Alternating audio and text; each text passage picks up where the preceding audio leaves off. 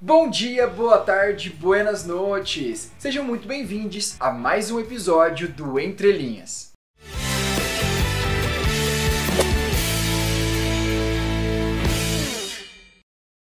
Eu sou o Vitor Hugo Batista e a obra de hoje é Sagarana, de João Guimarães Rosa. Lembrando que eu não sei o que vai cair no vestibular e tô só aqui tentando te ajudar nos estudos. Para quem ainda não viu os outros episódios, é só clicar no quadradinho aqui em cima que você já vai ser levado para a playlist do Entre Linhas. E ó, se inscreve no canal, clica no sininho porque daí você já recebe uma notificação quando os próximos vídeos forem publicados. E também Segue a gente lá nas redes sociais e depois deixa seu like, conta pra gente aqui nos comentários o que você tá achando dos vídeos. Quem me ajudou no vídeo de hoje foi o Murilo Coelho. Ele é mestre e doutor em estudos literários e conhece Guimarães Rosa, ó, como a palma da mão. Fica comigo até o fim, porque tem muita coisa legal pra gente falar. Sagarana foi escrito em 1938 mas foi publicado apenas em 1946. Falando no contexto político dessa época, os acontecimentos mais importantes giram em torno da era Vargas e do Estado Novo. A gente tinha um governo centrado na figura de Getúlio Vargas, considerado um ditador por seus opositores. Ele implementou aqui no Brasil uma política de inspiração fascista e justamente em 1937, no dia 10 de novembro, Vargas deu início ao seu golpe de Estado a partir do Plano Cohen, uma conspiração elaborada por militares brasileiros que buscavam justificar a necessidade de um golpe de Estado para se proteger de um possível golpe comunista. Parece familiar, né? Em tais circunstâncias, a capacidade de resistência do regime desaparece e a disputa pacífica das urnas é transportada para o campo da turbulência agressiva e dos choques armados.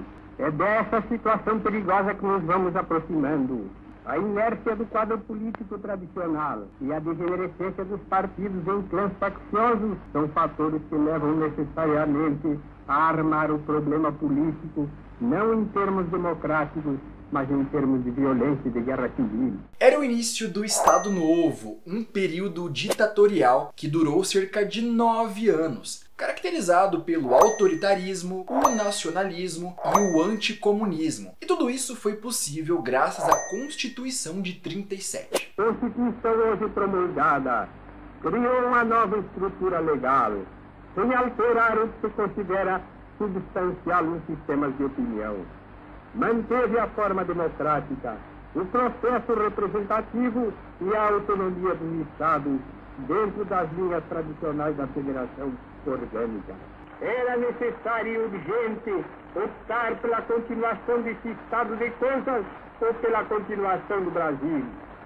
Entre a existência nacional e a situação de caos, de irresponsabilidade e desordem em que nos encontrávamos, não podia haver meio termo ou contemporização. Quando as competições políticas ameaçam degenerar em guerra civil, é sinal de que o regime constitucional perdeu o seu valor prático, subsistindo apenas como abstração. Em 45, com a renúncia forçada de Getúlio, temos o início da República Nova, com a ascensão de Eurico Gaspar Dutra na presidência. É, dá pra ver que Sagarana foi escrito durante esse período extremamente conturbado da nossa história política, mas também extremamente relevante. O plano de desenvolvimento de Getúlio ia deixar marcas permanentes na economia e na cultura do Brasil, o que ajudou no processo de modernização. E falando em modernização,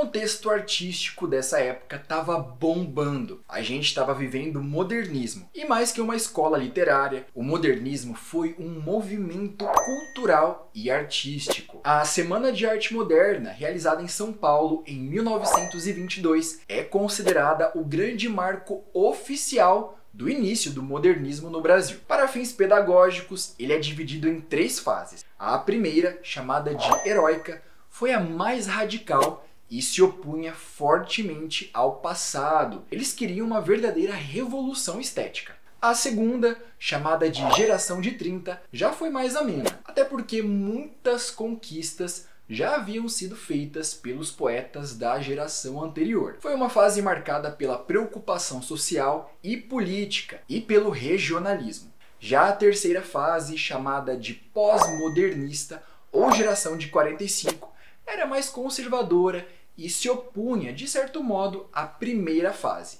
Se a gente for olhar por um certo ângulo, pode até parecer um retrocesso das conquistas que a primeira geração tinha alcançado. Sagarana foi escrito ali na segunda fase, mas só é publicado no fim desse período, ou seja, em 46, na terceira fase, quando já se desenhavam as tendências contemporâneas da literatura brasileira. Mas dá para dizer que Guimarães Rosa inicia essa terceira onda, muito conhecida pelos temas sociais, mas também pelo existencialismo, pelas reflexões sobre o mundo, a universalidade do ser humano, cheio de dúvidas e perplexidades em qualquer lugar do planeta. Foi uma geração que aconteceu dentro de um período de 10 anos, entre 1945 e 55. Mas, como a gente viu, essa divisão é meramente didática, né? Guimarães começou a escrever Sagrana muito tempo antes. Ele trouxe novas características para jogo, para dar voz, cor e movimento ao sertão de Minas Gerais. Ele utiliza uma técnica literária extremamente elaborada e altamente desenvolvida. Ele conseguiu unir a evolução estética modernista com as temáticas regionais, colocando as inovações artísticas do modernismo a serviço da configuração da vida dos homens, das mulheres, dos animais, das plantas e das paisagens do sertão. E ele ainda foi mais longe, ele deu uma realidade de sentimentos, de ações e de humanidades para algumas criaturas que a gente nem poderia imaginar que pudessem ter tudo isso, que é o caso dos animais nos contos O Burrinho Pedrez e também em Conversa de Bois, presentes em Sagarana. João Guimarães Rosa é um homem do sertão, como ele mesmo disse. Ele nasceu no dia 27 de junho de 1908, em uma cidadezinha do interior de Minas Gerais chamada Cordisburgo. Quando criança, ele gostava de ouvir as histórias que os boiadeiros contavam e adorava deitar no chão do seu quarto com as luzes apagadas e criar histórias na sua cabeça. Esta é mais uma edição de de Lucas Silva Silva, falando diretamente do mundo da lua. Histórias com bois e vacas, cavalos e peões, onças e paisagens sertanejas. E desde criança, ele se interessou por línguas estrangeiras. Control the match by keep playing the left, the right, in the middle, have one best opportunity for score. Estudou alemão, francês e holandês já na infância. Toda essa paisagem, esse imaginário sertanejo e também a paixão e habilidade com a linguagem vão se refletir diretamente na sua literatura. De cada um desses idiomas, por exemplo, ele roubou um pouquinho. Ele foi um inventa-língua, um criador de neologismos, palavras do latim, verbos que não existem, adjetivos jamais lidos, tudo isso forma a sopa de letras das histórias, que causam estranhamento, mas também são a magia de tudo. O mundo, a vivência e o respeito dele pelo sertão são características fundamentais da sua biografia e que é possível da gente notar nas obras dele. Outra característica importante da vida de Guimarães Rosa foi a sua carreira como diplomata. Ele representou o Brasil em vários lugares do mundo e isso ampliou o contato dele com as línguas europeias, além dele ter se aproximado das decisões políticas que eram feitas. Essa trajetória política dele também está presente na sua prosa. Ele retrata várias figuras de poder, como grandes fazendeiros, no caso do Major Saulo em O Burrinho Pedrez, o Major Anacleto em A Volta do Marido Pródigo e o próprio Augusto Matraga em A Hora e a Vez de Augusto Matraga. Enfim, a vida de Guimarães Rosa é a explicação mais perfeita da sua obra, desde quando a gente observa os recursos de linguagem usados até quando a gente repara na vida do sertão mineiro, um verdadeiro pretexto para discutir experiências humanas de pessoas de qualquer lugar do planeta e com personagens de dimensões mundiais. É o que podemos chamar de regionalismo universal. Inclusive, Sagarana já é um bom resumo de tudo isso. O título, Sagarana, é uma junção de saga, que vem da mitologia germânica, e o termo Urana, da linguagem tupi-guarani, ou seja, o sentido por trás do título é algo do tipo parecidos com sagas. Sagarana é o primeiro livro em prosa de Guimarães Rosa e, como eu disse, a primeira versão saiu em 1938. O livro tinha sido resultado de um concurso de contos naquela época. E o título não era lá muito criativo, se chamava Contos. Essa versão tinha 12 contos e 500 páginas. Depois ele foi melhor lapidado e ficou com nove contos: O Burrinho Pedrez, A Volta do Marido Pródigo, Sara Palha, Duelo, Minha Gente, São Marcos, Corpo Fechado, Conversa de Bois e A Hora e a Vez de Augusto Matraga.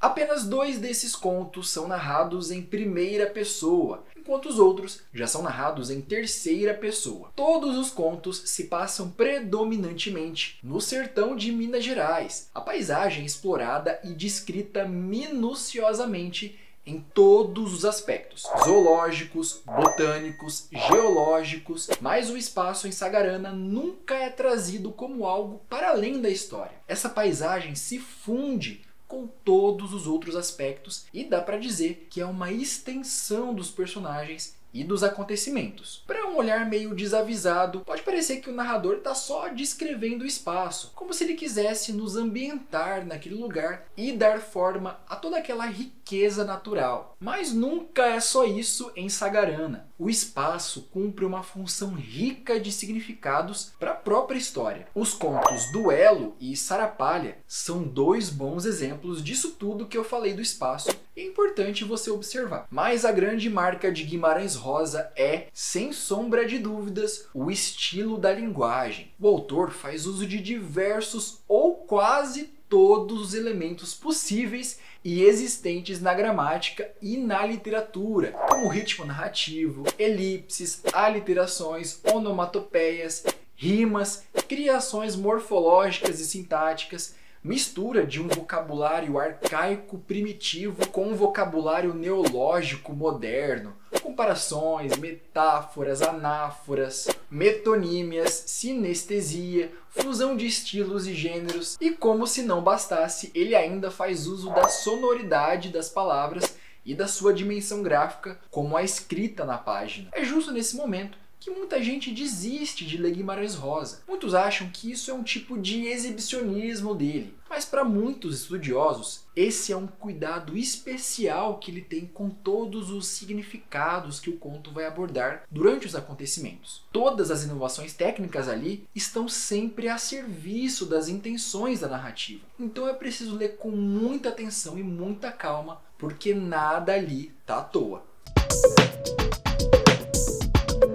eu diria para o aluno de vestibular que a ideia de colocar literatura no vestibular, é, como os próprios professores da UFPR dizem, os alunos têm essa experiência de leitura com essas obras em algum momento da vida. Existe esse desejo e essa luta política para manter as pessoas em contato com a literatura né, com isso que se produziu no nosso país, que fala sobre quem nós somos, que fala sobre o nosso mundo, que fala sobre essas raiz, nossas raízes ideológicas, sabe, que toca em questões muito profundas, é sobre sobre sobre ser brasileiro.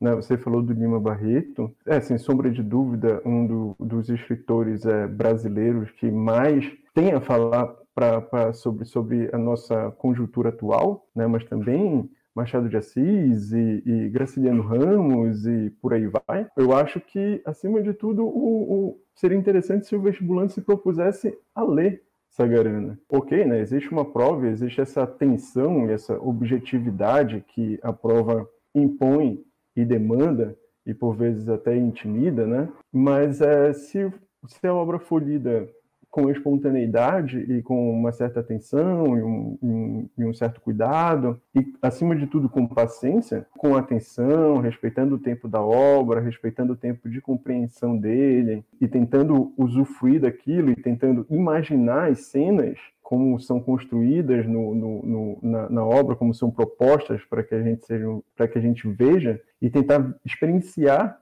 de fato esse universo que o Rosa propõe, eu acho que isso por si só já é, já está mais do que válido. E, e, não vai ter nenhuma questão no vestibular que constranja um, um, um aluno que tenha prestado atenção nisso né, e que tenha se envolvido com a obra nesse, nesse nível.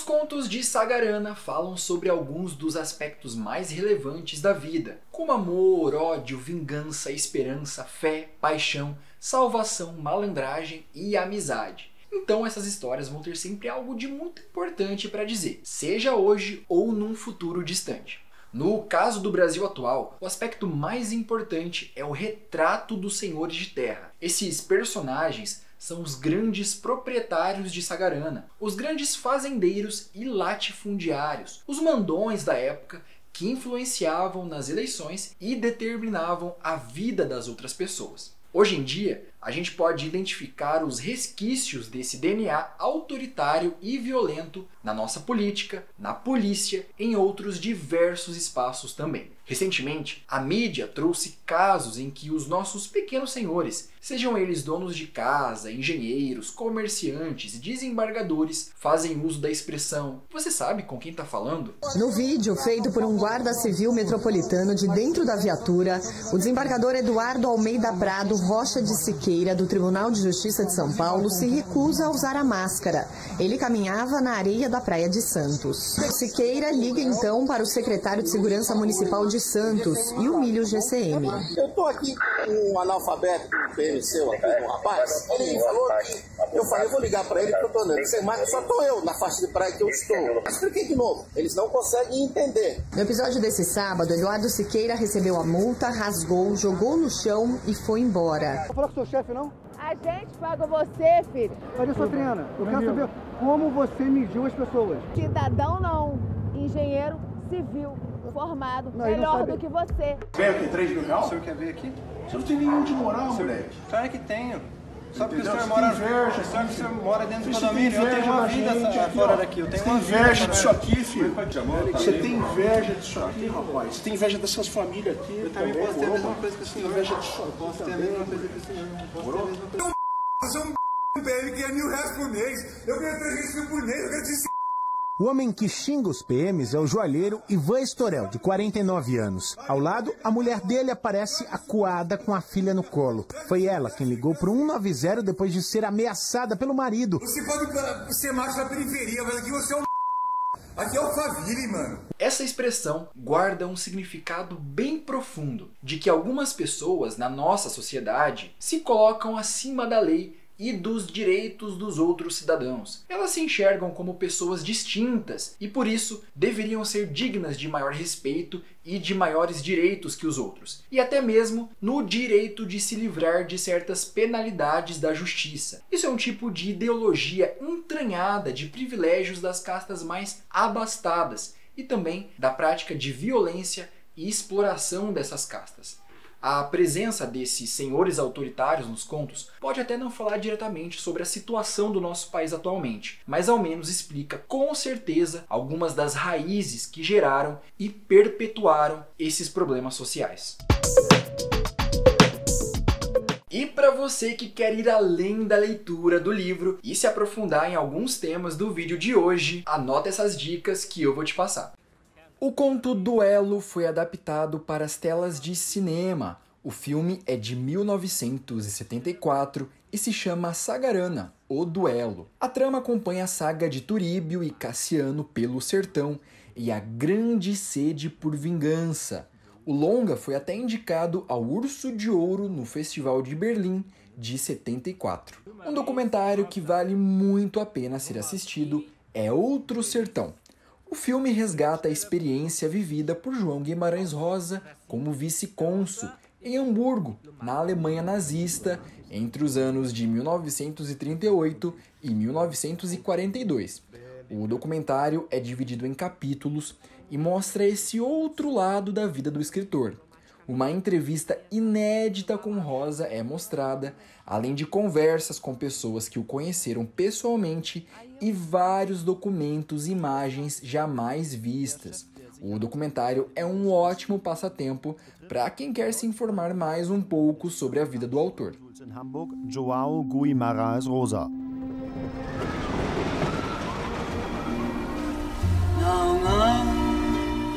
Esse foi mais um vídeo do Entre Linhas. Se você gostou, dá um like, dá uma moralzinha e também indica para os amigos que podem se interessar. Comenta aqui embaixo o que você achou também. Tchau, tchau e a gente se vê no próximo vídeo. Anota essas dicas que eu vou te passar. Nem sei quais dicas são ainda.